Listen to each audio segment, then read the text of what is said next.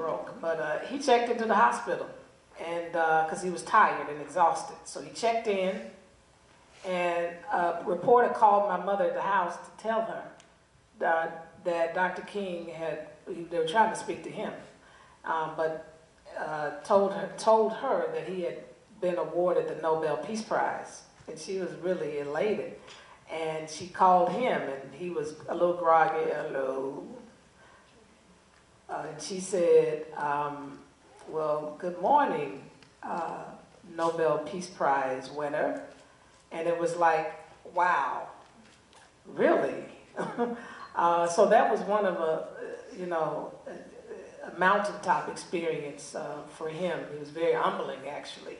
Um, he knew that there was a lot of responsibility now on his shoulder as a result of that. Um, and I think another mountaintop experience was at the end of the Montgomery bus boycott, near the end.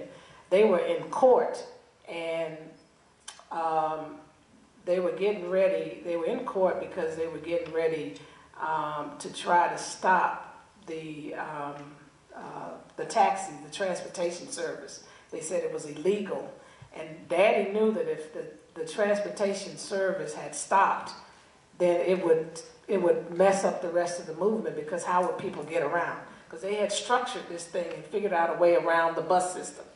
And while they were sitting in court, the ruling came down from the Supreme Court that said bus segregation was unconstitutional. And it was like a, a moment of elation because after all they had been through, and he was very concerned that they had reached a moment that maybe they wouldn't be able to figure out what to do next.